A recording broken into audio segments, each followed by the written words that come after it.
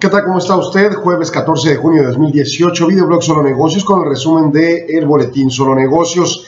El día de hoy tenemos información relativa tanto al mercado de divisas como al mercado monetario.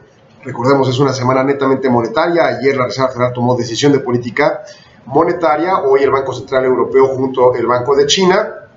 Y bueno, pues hasta la próxima semana México reacciona en Banco de México. Pero por lo pronto el, tipo de cambio mexicano ayer y hoy con depreciaciones relevantes, ya en los bancos eh, en promedio venta nacional 21.06 y en lo que es eh, bueno la perspectiva del interbancario ya muy cerca hacia 20.82.90 con un fix establecido por Banco de México en 20.59.60. Y bien, ¿cuáles son los elementos que lo inducen? Para empezar, el índice Bloomberg Dollar Spot subió 0.97%, dado buenos indicadores económicos y la aceleración en la normalización de la tasa de la Reserva Federal de Estados Unidos, que ayer tomó esa decisión. Dos, en indicadores, Estados Unidos tuvo ventas minoristas y solicitudes de desempleo mejor a lo esperado. Se acelera la economía americana y esto hace ver que confirma la posición de la Fed de acelerar su normalización. Ventas minoristas subieron 0.8% en mayo y solicitudes de, desempleo bajaron a 218 mil al 9 de junio. Eh, el Banco Central Europeo fijó hoy una fecha para diciembre de 2018 para terminar con las compras de bonos. Va a dejar la tasa de referencia hasta en ceros hasta junio más o menos de 2019 y hace algunos comentarios relevantes que ahorita ahondo en ellos. El petróleo quedó mixto y bueno, pues el spread sigue volatilizado en 1.15 entre compra y venta de bancos aquí en México.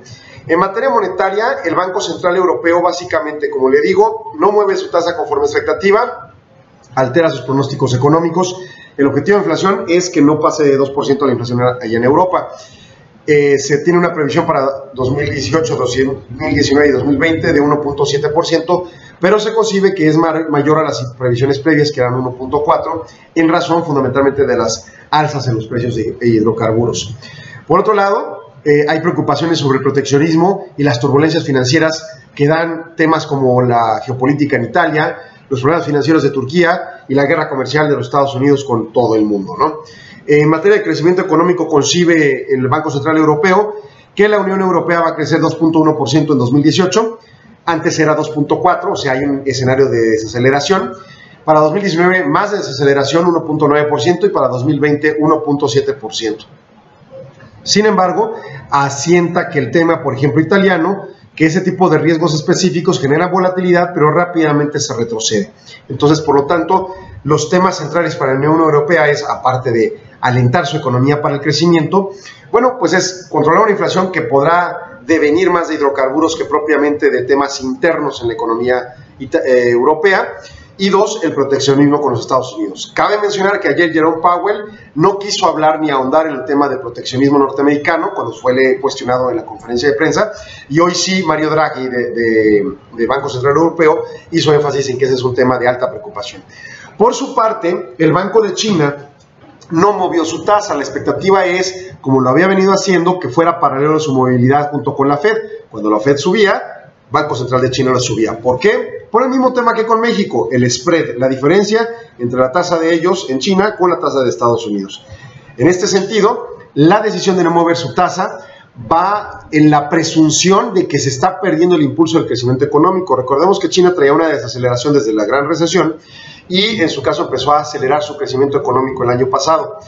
Para colmo, bueno, recordemos que China, si bien no tenemos un tratado de libre comercio con ellos, lo cierto es que tenemos una vinculación muy fuerte en materia comercial y además es la segunda potencia económica del planeta. Entonces, tiene mucho sentido tener una ocupación principal en los, en los temas de indicadores chinos. Este tema entonces nos lleva a que sus tasas de recompra a 7 días estén 2.55% y hasta 30 días 2.85%. El diferencial va a bajar y va a generarse una presión tipo cambiaria su moneda, que también no es flexible, pero las presiones se dan y por lo tanto se tienen que generar devaluaciones, que sí aplica ese concepto en materia de países con tipos de cambio fijo y no depreciaciones como en el caso mexicano o el propio Estados Unidos, donde sus tipos de cambio son flexibles. En concreto, la posición de China eh, genera bastante temor en razón de la posibilidad de una desaceleración marcada en su economía por la decisión de no mover tasa y no presionar el financiamiento. En el caso de Estados Unidos, acelera su crecimiento y acelera la normalización de tasas subiéndola. En Europa fijan fecha para iniciar disminución en lo que concierne al tema de compra de bonos y otorgamiento de liquidez el mercado, pero deja su tasa en ceros hasta junio del próximo año. Y en su caso, pues Banco de México tendrá que tomar una decisión, muy probablemente no de alzar la tasa, pero quizás sí de extender las coberturas cambiarias para provocar mayor liquidez en el, en el mercado, en una vinculación dólares-pesos, y pues evitar mayor depreciación que se traduzca en conflictos inflacionarios. Pero si sube la tasa, pues el riesgo es, como le decíamos ayer, un problema para el financiamiento de las empresas y por ende el crecimiento económico del país. Es lo que tenemos el día de hoy, le agradecemos su atención, nos escuchamos mañana.